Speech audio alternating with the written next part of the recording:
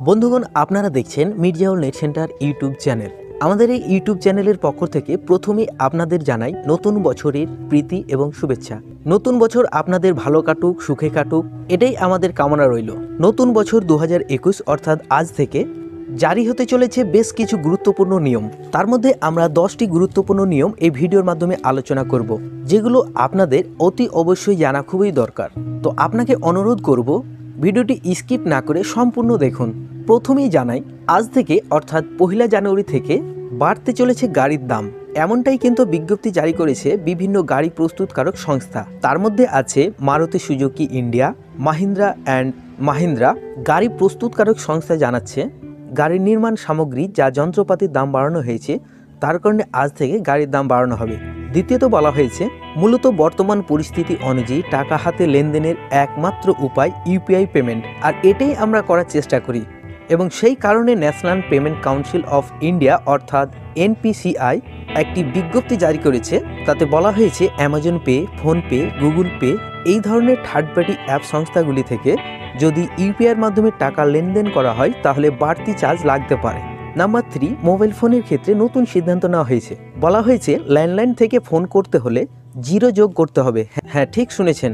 Landline থেকে mobile ফোনে আজ থেকে ফোন করতে হলে ফোন করার আগে ডায়াল করতে হবে জিরো সংখ্যা নাম্বার চার, মূলত গ্যাস সিলিন্ডারের দাম বাড়ানো হয়েছে এক মাসে পঞ্চাশ টাকা করে দুবার, মোট একশো টাকা এবং তার মধ্যে নাজেহাল হয়ে পড়েছে মধ্যবিত্ত পরিবার। এর বিজ্ঞপ্তিতে বলা হয়েছে ক্রুড প্রাইস কি থাকছে বিশ্ববাজারে? এবং সংস্থা থেকে বলা হয়েছে, পরে আলোচনা করে এর দাম নির্ধারণ করা হবে।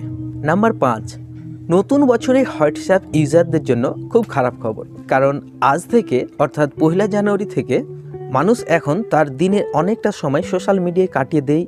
এমন বহু মানুষ আছেন যাদের দিনে প্রায় সব সময় সোশ্যাল মিডিয়ার মধ্যে পড়ে থাকেন। কেউ সোশ্যাল মিডিয়াকে ইউজার হিসাবেই ব্যবহার করে থাকেন, আবার অনেকে আছেন যারা ক্রিয়েটার হিসাবে কাজ করে থাকেন।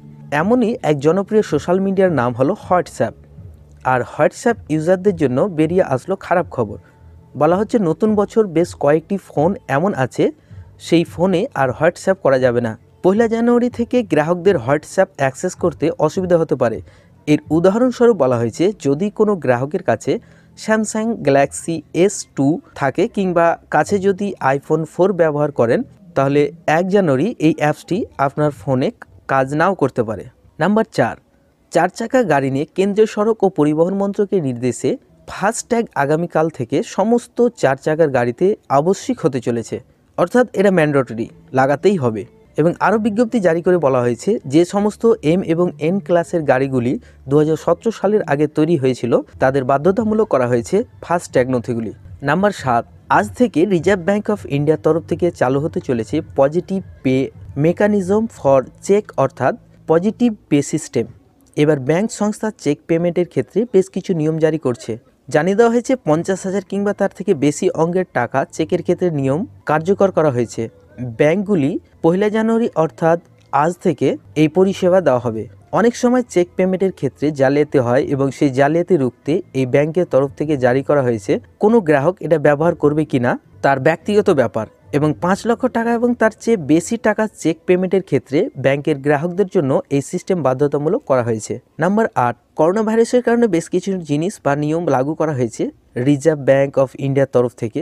এর মধ্যে কন্ট্যাক্টলেস কার্ড ট্রানজ্যাকশনের ব্যবস্থা চালু করেছিল রিজার্ভ ব্যাংক অফ ইন্ডিয়া, অর্থাৎ আরবিআই মূলত এর আগে ইউপিআই এর কন্ট্যাক্টলেস কার্ডের মাধ্যমে টাকা লেনদেনের সীমা দুই হাজার টাকা করা হয়েছিল এবং আজ থেকে ইউপিআই কন্ট্যাক্টলেস কার্ডের মাধ্যমে পাঁচ হাজার টাকা পর্যন্ত লেনদেন করতে পারবেন। নাম্বার নয়, সরকারের তরফ থেকে জিএসটি নিয়ে নতুন বিজ্ঞপ্তি জারি করা হয়েছে।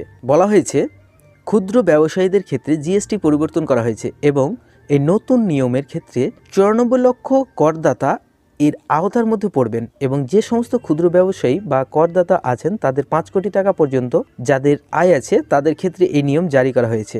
পহিলা জানুয়ারি অর্থাৎ আজ থেকে বারোটির বদলে চারটি সেলস রিটার্ন বা জিএসটি থ্রি বি ক্ষুদ্র ব্যবসায়ীদের জমা দিতে হবে। নাম্বার দশ, অর্থাৎ ছেষট্টি, আজ থেকে জিওর তরফ থেকে সমস্ত অফনেট ডোমেস্টিক ভয়েস কলের ফ্রি করবে। প্রসঙ্গত দু হাজার বারো সালে সেপ্টেম্বর ট্রাই যখন বিল আন, বিল অ্যান্ড কিপ শিল্প বাস্তবায়নের জন্য সময়সীমা দু হাজার কুড়ির পয়লা জানুয়ারির মধ্যে বাড়িয়েছিল, তখন জিও তার গ্রাহকদের অফনেট ভয়েস কলগুলির জন্য সমান হারে চার্জ শুরু করে। অর্থাৎ জিও থেকে অন্য নেটওয়ার্কে কল করার সময় টাকা দিতে হতো। জিও থেকে ব্যবহারকারীদের আশ্বাস দিয়েছিল যে ট্রাই আইআইসি চার্জ বাতিল করে দিলে এই চার্জটি আর নেওয়া হবে না। অবশেষে কিন্তু বাতিল করা হলো। এবছর অক্টোবরে দুই পয়েন্ট বাইশ মিলিয়ন গ্রাহক নতুন করে যুক্ত হয়েছে রিলায়েন্স জিওতে। জিও গ্রাহক সংখ্যা এখন বেড়ে দাঁড়িয়েছে চারশো ছয় পয়েন্ট থ্রি মিলিয়ন। তো বন্ধুরা, এই ছিল দশটি আপডেট যা আপনাদের জানা অবশ্যই দরকার ছিল, তাই আপনাদের জানালাম। এই তথ্যটি আপনাদের কেমন লাগল কমেন্ট করে অবশ্যই জানাবেন এবং অন্যকে জানাতে ভিডিওটি শেয়ার করবেন। ভালো লাগলে লাইক করবেন। আজকে এই পর্যন্ত, ফিরবো অন্য কোনো ভিডিওর সাথে। ধন্যবাদ।